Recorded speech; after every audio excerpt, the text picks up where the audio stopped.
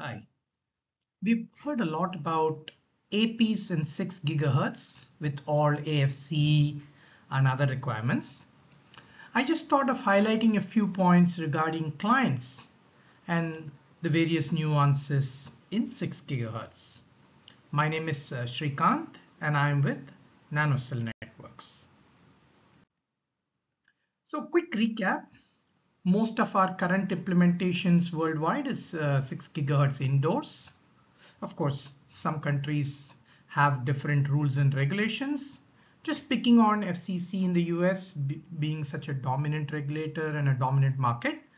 Uh, indoor APs have been out in the market. The Wi-Fi 6E certification is up and running. It limits the powers of the APs, but it also limits the power of the client a maximum EIRP, along with a strict power spectral density. Uh, in the US, it's about minus 1 dBm per megahertz. Of course, in the case of APs, it's 5 dBm per megahertz, encouraging higher bandwidth implementation. But the clients are also limited to minus 1 dBm per megahertz. Okay, so in a certain sense, there are requirements from the client side as well when it comes to the Wi-Fi 6E from a regulatory perspective.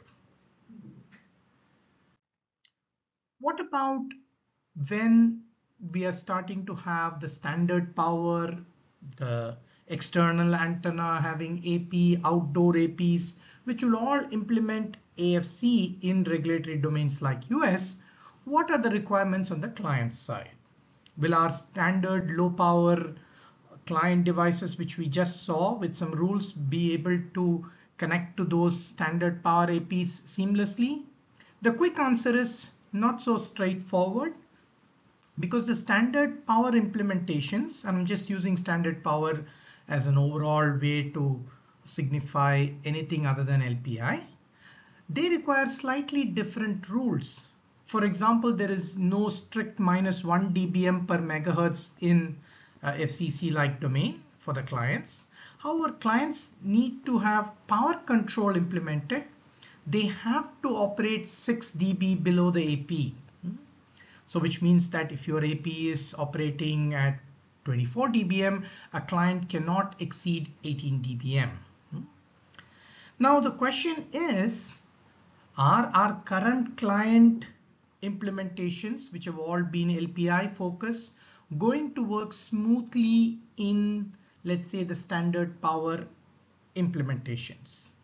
Okay, what are some things to be followed? So the first thing is how will the client even know that I'm listening to a, a LPI AP with a standard power AP?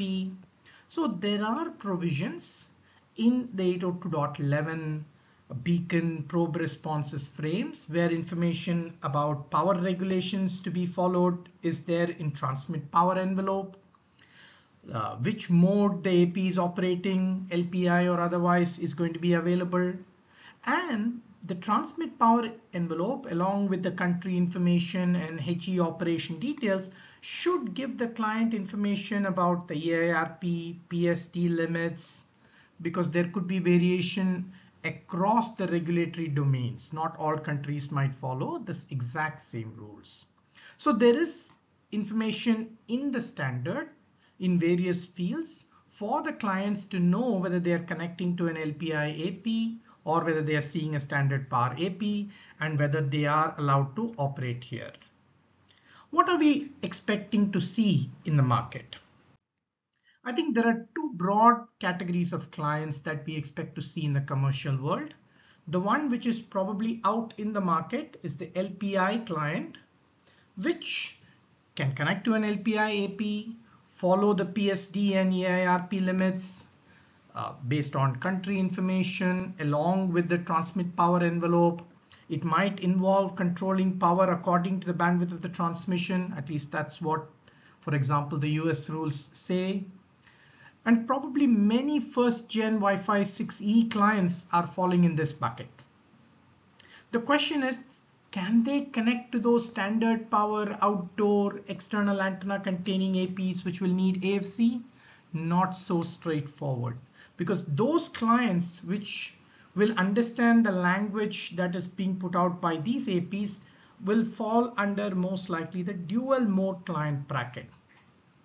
Are all 6 gigahertz client going to support this dual mode? Definitely some of these first gen clients already out there probably don't understand some of the languages that we are expecting them to follow in the standard power mode. Later generation clients, for example, we are seeing that some of the recently announced high-end devices, they seem to have the ability to understand both the LPI AP rules as well as the standard power rules. So those are the ones which will connect to, you know, APs of both types and they'll control transmit power according to what the, you know, AP's power level is.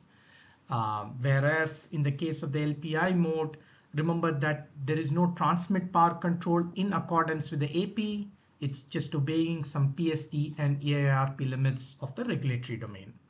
So in the future, don't expect that all 6 gigahertz capable clients will connect your AFC enabled AP. Okay, because some of these first gen clients might not connect to your AFC uh, controlled AP. So that's something one might have to keep in mind if you are implementing it for say an enterprise or similar such applications where you estimated that all 6 gig clients will probably favor that band. Thank you for listening. For more information, please take a look at our website. We also offer courses through Wi-Fi Now Academy. Thank you.